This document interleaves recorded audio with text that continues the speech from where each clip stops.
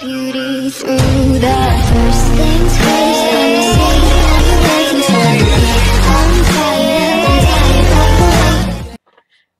What's up guys and welcome back to another video.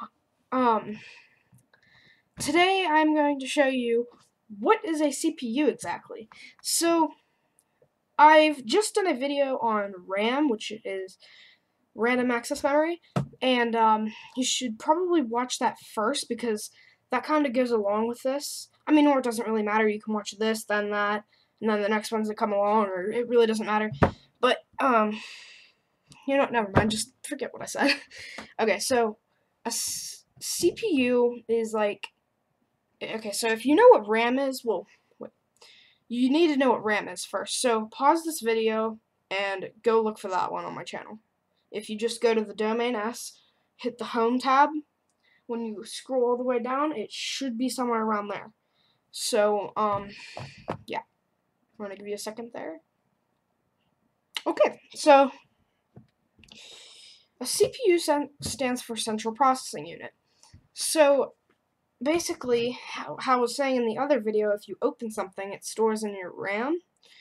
Um, this is what makes it open, basically. So, like, if I open, wait, now let me get that out of there. If I open this app called CPUX, if I hit that, not only is it stored in the RAM right now, but it just used the CPU to go through it and open it. So, um, yeah. now, I'll show you, I'm using a Samsung Galaxy S9.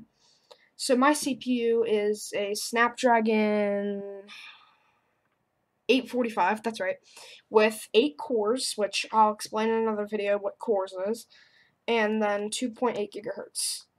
And I'll also explain in another video what gigahertz is. So right there, and um, okay, so I'm gonna stop this clip and think of a way to explain it better than what I have in mind. So I'll be back. Okay, so I've give I've given myself a couple minutes to think.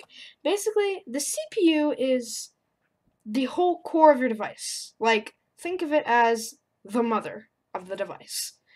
And the CPU is the one that does all of like the thinking. Like, for example, it handles handles rendering and 3D graphics processing and other stuff, but those are just two examples. And then, um, at its core, a CPU can take instructions from a program or an application and perform a calculation. So, this process can be broken down into three key, sta- key, key stages fetch, decode, and execute. And what I mean by that is a CPU fetches the instruction from a system's RAM, which you should probably go watch that RAM video. Then it decodes what the instruction actually is before it is executed by the relevant parts of the CPU. So, it's what, it's basically, it does anything, it helps with anything from starting up your PC or your phone or your tablet from to like to watching a YouTube video. So, um, yeah, that's basically what a CPU is. It's just like the thinking part. It thinks all the stuff through. So, um, yeah, guys, if you have any questions or anything you want to ask me about a computer or anything, just let me down, let, let me know in the comments below, and I will answer it as soon as I can. So, yeah, guys, hope this answered your question, and, um, hope it helped you, so, hope you enjoyed, and, uh, peace.